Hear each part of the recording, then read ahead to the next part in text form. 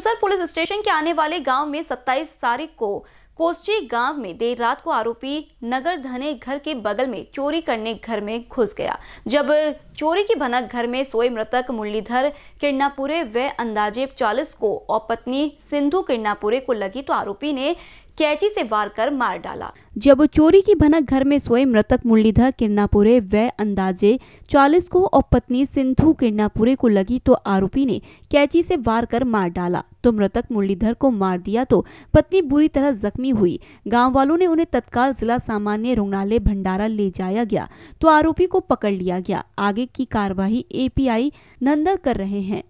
अंतर्गत ग्राम कोष्टी येथे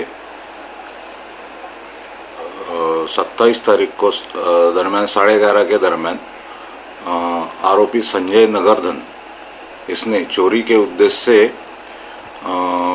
फिरियादी सिंधु मुरलीधर किरनापुरे इनके यहाँ चोरी के उद्देश्य से जाके चोरी करते समय, जब फिरियादी को पता चला कि कुछ आवाज़ आ रहा है तो वो मृतक जो है मुरलीधर है इनको बताए। इनको बताने के बाद में वो जब, किचन के रूम में जाके देखते हैं तो संजय